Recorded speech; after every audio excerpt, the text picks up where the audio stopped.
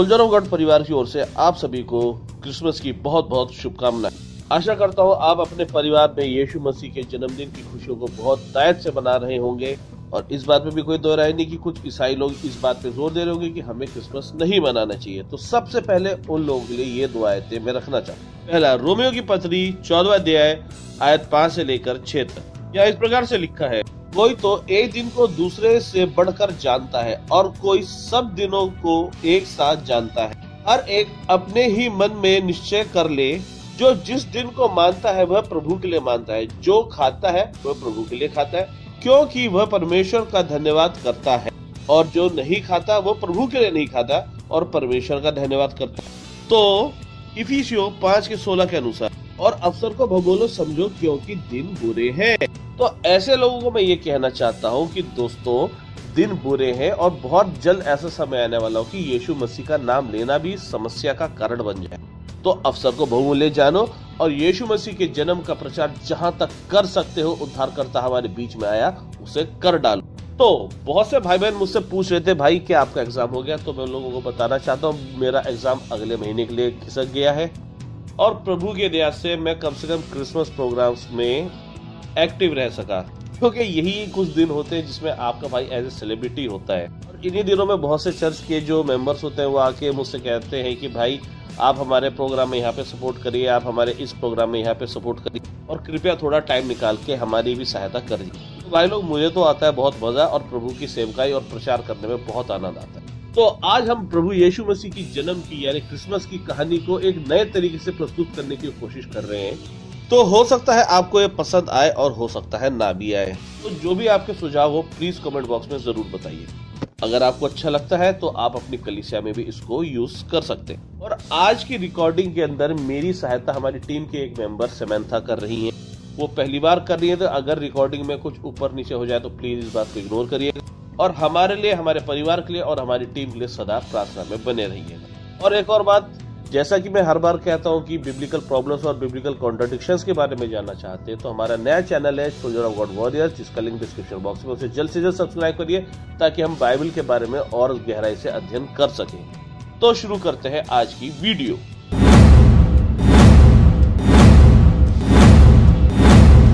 स्त्री का वंश। उत्पत्ति तीन बाप और उसकी पंद्रहवीं आयत।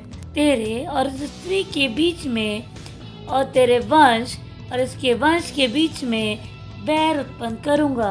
वह तेरे सिर को कुचल डालेगा और तू उसकी एड़ी को डसेगा।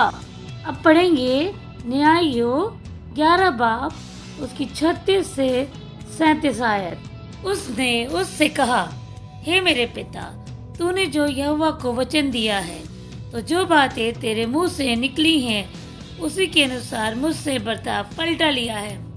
फिर उसने अपने पिता से कहा, मेरे लिए यह किया जाए कि दो महीने तक मुझे छोड़े रहे, कि मैं अपनी सहेलियों सहित जाकर पहाड़ों पर फिरती हुई अपने कुआरेपन पर रोती रहूँ। हम पढ़ेंगे लूका, पहला बाप, उसकी 26 आयत से लेके अड़तीस आयत तक छठवें महीने में परमेश्वर की ओर से जब्राइल सबदूत गलील के नासरत नगर में एक कुआरे के पास भेजा गया, जिसकी मंगनी यूसुफ नामक दाऊद के घराने के एक पुरुष से हुई थी।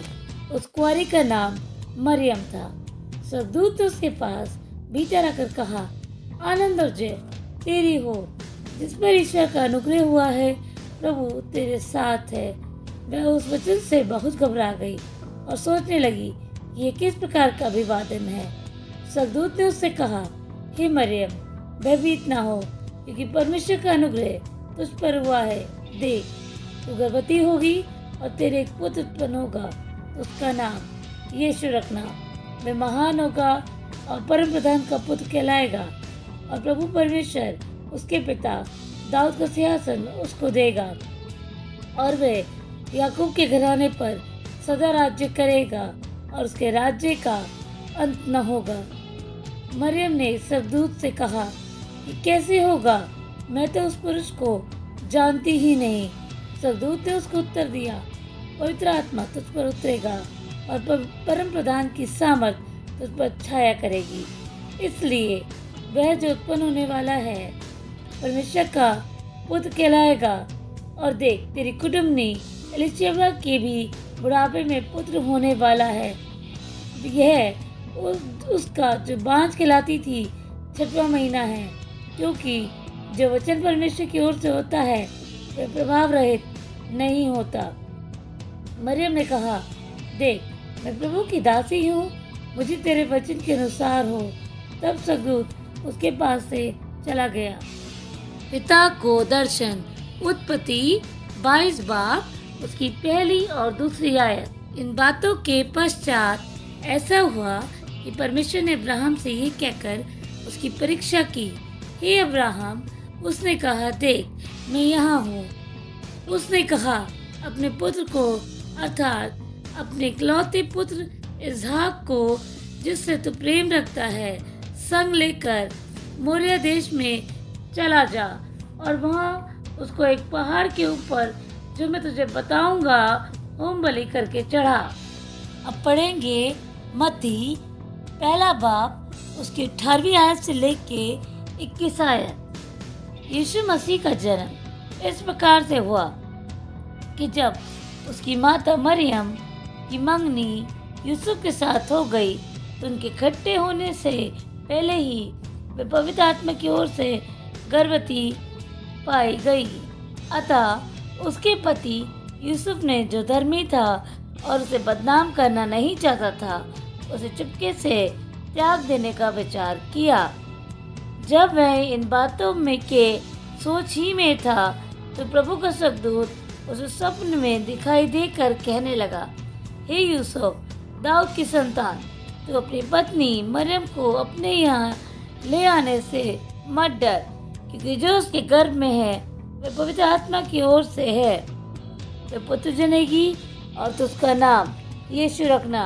क्योंकि अपने लोगों का, उनके पापों से उद्धार करेगा। गडरियों का दर्शन, उत्पत्ति, बाईस बाप और उसकी तेरहवीं आयत। तब अब्राहम ने आँखें उठाई और क्या देखा कि उसके पीछे एक मेड़ा अपने सींगों से एक झाड़ी में फंसा हुआ है। अतः अब्राहम ने जाके उस मेड़े को लिया और अपने पुत्र के स्थान पर उसे होम बलि करके चढ़ाया। अब हम पढ़ेंगे लूका दो बाप, उसकी आठवीं आयत से लेके बारह आयत। और उस देश में कितने गडरिए थे जो रात को मैदान में रहकर अपने झुंड का पहरा देते थे? और प्रभु का एक दूत उनके पास आ खड़ा हुआ, और प्रभु का तेज उनके चारों ओर चमका और वे बहुत डर गए। तब सकदूत ने उनसे कहा, मत डरो, क्योंकि देखो, मैं तुम्हें बड़े आनंद का सुसमाचार सुनाता हूँ। जो सब लोगों के लिए होगा। या दाऊद के नगर में तुम्हारे लिए एक उद्धार करता जन्मा है, और यही मसीह प्रभु है। और इसका तुम्हारे लिए ये पता है कि तुम एक बालक को कपड़े में लिपटा हुआ और चन्नी में पड़ा पाओगे। परमेश्वर का मेमना, उत्पत्ति, बाईसवा बाप, उसकी चौदहवीं आयत से लेके अठारह आयत। अब्राहम ने उस स्थान का नाम यहोवा येरे रखा। इसके अनुसार आज तक भी कहा जाता है कि यहोवा के पहाड़ पर उपाय किया जाएगा। फिर यहोवा के दूत ने दूसरी बार स्वर्ग से अब्राहम को पुकार के कहा यह की ये वाणी है कि मैंने अपनी ही शपथ खाता हूँ कि तूने जो ये काम किया है कि अपना ही पुत्र वरन अपने इकलौते पुत्र को भी नहीं रख छोड़ा। इस कारण मैं निश्चय तुझे आशीष दूँगा और निश्चय तेरे वंश को आकाश के तारागण और समुद्र के तीर की बालू की किनकों के समान अनगिनत करूँगा। और तेरा वंश अपने शत्रुओं के नगरों का अधिकारी होगा और पृथ्वी की सारी जातियाँ अपने को तेरे वंश के कारण धन्य मानेगी, क्योंकि तूने मेरी बात मानी है। अब हम पढ़ेंगे यहुन्ना उसका तीन बाप और उसकी सोलहवीं आयत। क्योंकि परमेश्वर ने जगत से ऐसा प्रेम रखा कि अपने लाता पुत्र दे दिया, ताकि जो कोई उस पर विश्वास करे, वह नष्ट न हो, परंतु अनंत जीवन पाए। इमानुअल मती पहला बाप, उसकी 22 से 23 आयत, और यशाया सात बाप, उसकी चौदह आयत। यह सब इसलिए हुआ कि जो वचन प्रभु ने भविष्यवक्ता के द्वारा कहा था पूरा हो। देखो, एक कुंवारी गर्भवती होगी और एक पुत्र जनेगी और उसका नाम इमानुएल रखा जाएगा, जिसका अर्थ है, परमेश्वर हमारे साथ। अब हम पढ़ेंगे प्रकाशित वाक्य, उसका 21 बाब एक से लेकर चौथी आयत। फिर मैंने नए आकाश और नए पृथ्वी को देखा। क्योंकि पहला आकाश और पहले पृथ्वी जाती रही थी और समुद्र भी ना रहा। फिर मैंने पवित्र नगर नए यरूशलेम को स्वर्ग से, परमेश्वर के पास से उतरते देखा। वह दुल्हन के समान थी जो अपने पति के लिए श्रृंगार किए हो।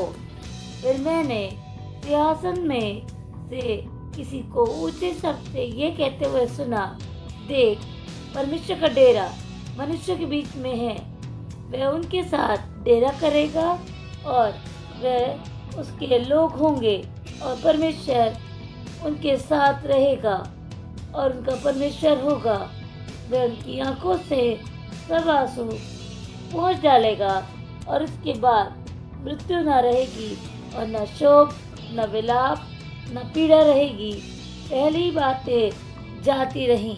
अगस्तु कैसर की आज्ञा, मीका पाँच बाप और उसकी दूसरी आय हे बैतलहम इब्राता यदि तू ऐसा छोटा है कि यहूदा के हज़ारों में गिना नहीं जाता तो अभी तुझ में से मेरे लिए एक पुरुष निकलेगा, जो इसराइलियों में प्रभुता करने वाला होगा, और उसका निकलना प्राचीन काल से वरन अनादिकाल से होता आया है। अब हम पढ़ेंगे यहुना सात बाप और उसकी बयालीस आयत।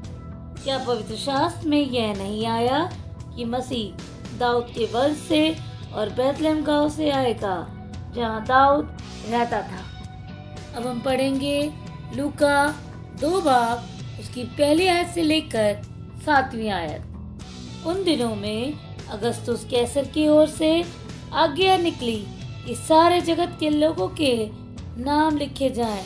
यह पहली नाम लिखाई उस समय हुई जब किबर न्यूज़, सीरिया का हाकिम था। सब लोग नाम लिखवाने के लिए अपने अपने नगर को गए। अतः, यूसुफ भी इसलिए कि वे दाऊद के घराने और वंश का था। गलील के नासिर नगर से यहूदिया के, यहूदिया में दाऊद के नगर बैतलेम को गया। कि अपनी मंगेतर मरियम के साथ जो गर्भवती थी, नाम लिखवाए। उनके वहाँ रहते हुए, उसके जन्ने के दिन पूरे हुए और वे अपना पहलौठा पुत्र जनी और उसे कपड़े में लपेट कर चरनी में रखा क्योंकि उनके लिए सराय में जगह ना थी। तारे का दिखना, गिनती, चौबीस बाप और उसकी सत्रहवीं आयत। मैं उसको देखूँगा तो सही, परंतु अभी नहीं। मैं उसको निहारूँगा तो सही, परंतु समीप हो के नहीं। याकूब में से एक तारोदय होगा और इसराइल में से एक रात दंड उठेगा, जो मुआब की सीमा को चूर कर देगा और सब दंगा करने वालों को गिरा देगा। अब हम पढ़ेंगे मती दो बाप उसकी नौ से लेके ग्यारह आयत। वे राजा की बात सुनकर चले गए और जो तारा उन्होंने पूर्व में देखा था वह उनके आगे आगे चला और जहाँ बालक था, उस जगह के ऊपर पहुंचकर ठहर गया। उस तारे को देखकर वह अति आनंदित हुए। उन्होंने उस घर में पहुंचकर उस बालक को उसकी माता मरियम के साथ देखा और मुँह के बल गिरकर बालक को प्रणाम किया और अपना अपना थैला खोलकर उसको सोना और लोबान और गंधरस की भेंट चढ़ाई।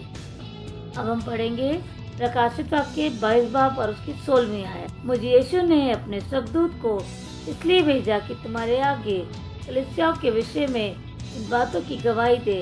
मैं दाऊद का मूल और वंश और बोर का चमकता हुआ तारा हूँ। दो वर्ष के बच्चों का मारा जाना। निर्गमन, पहली बाप और उसका बाईसवीं आयत तब फिर ने अपनी सारी प्रजा के लोगों को आज्ञा दी। इब्रियो के जितने बेटे उत्पन्न हो, उन सभी को तुम नील नदी में डाल देना और सब बेटियों को जीवित रहने देना। अब हम पढ़ेंगे मती उसका दूसरा बाप, उसकी सोलहवीं आयत से लेकर अठारह आयत। जब हेरोदेस ने यह देखा कि ज्योतिषियों ने उसके साथ धोखा किया है, तब वह क्रोध से भर गया और लोगों को भेजकर ज्योतिषियों द्वारा ठीक ठीक बताए गए समय के अनुसार बैतलहम और उसके आसपास के स्थानों के सब लड़कों को जो दो वर्ष के या उससे छोटे थे, मरवा डाला। तब जो वचन यर्मिया भविष्यता द्वारा कहा गया था, वह पूरा हुआ। रामा में एक करुण नाद सुनाई दिया। रोना और बड़ा विलाप। राहेल अपने बालकों के लिए रो रही थी और शांत होना ना चाहती थी क्योंकि वे अब नहीं रहे। अब हम पढ़ेंगे व्यवस्था विवरण, उसका अठारह बाप और उसकी पंद्रवा आयत। तेरा परमेश्वर यह हुआ तेरे मध्य से, अर्थात तेरे भाइयों में से मेरे समान एक नबी को उत्पन्न करेगा। तो उसी की सुनना। परमेश्वर इस वचन के पढ़े जाने और सुने जाने पे आशीष दे। आमीन। आप सभी को हैप्पी क्रिसमस